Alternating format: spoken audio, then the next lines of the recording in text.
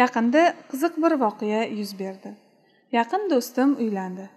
Zaks marosimida nikoh o'qish uchun masjidga bordik. Nikoh o'qiyotgan domla negadir kelin kuyovlarning ismlarini so'ramay ularni nikohlab qo'ydi.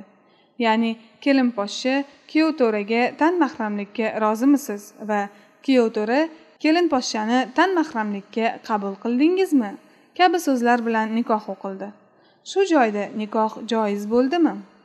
Kelin kuyovni nomini aytish bizda doimiy ravishda domlalar tomonidan qilib kelingan narsa. Lekin e, bu holatni sinchkovlik bilan o'rganish kerak. O'sha domla nima uchun aytmadilar? Ehtimol ikki taraf bir biriga tanishligi uchundir. Ehtimol yana vakillar tomonidan aytilgan bo'lishi mumkin va hokazo va hokazo.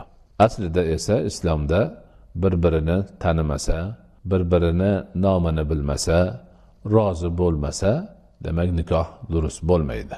Balki kuyov kelinni ijob va qabul paytidagi roziliklarini bayon qiluvchi ovozini ham kuyov kelin bir birlarinikini eshitishi hamda guvohlar ham o'sha ijob va qabul rozilik so'zlarini eshitishlari ovozlarini eshitishlari lozim.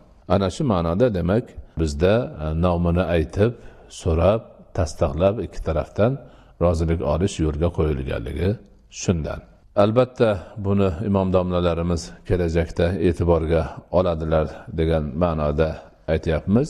Lekin bu savoldagi muayyan demak shaxsni nikohi joizmi joiz emasmi degan holatda bo'ladigan bo'lsa buni alohida yana so'rash o'shani tadqiq qilish guvohlardan yoki shaxsiy ishtirokchilardan aniqlash kerak.